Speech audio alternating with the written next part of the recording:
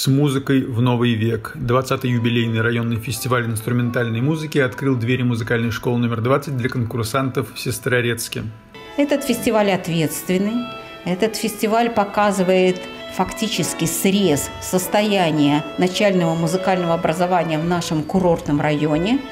И это всегда праздник, но это всегда ответственность, потому что работу преподавателей – Качество исполнения учащихся на различных музыкальных инструментах оценивает очень компетентное, ответственное жюри.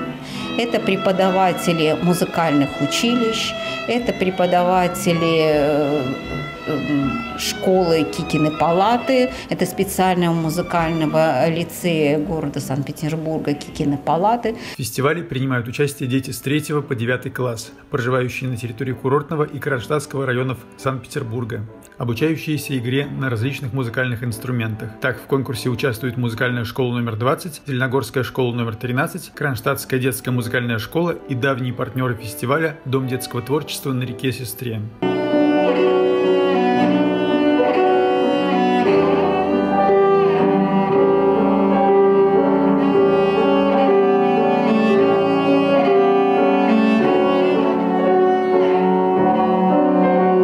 Вся первая неделя фестиваля посвящена отборочным турам на базе самих организаций. Далеко не каждый пройдет начальные испытания. Судить конкурс будет компетентный жюри, преподаватели музыкальных училищ из Петербурга. Второй тур состоится уже 15 и 16 февраля. И, конечно же, победителей ждет галоконцерт фестиваля, который пройдет в концертном зале Мариинского театра.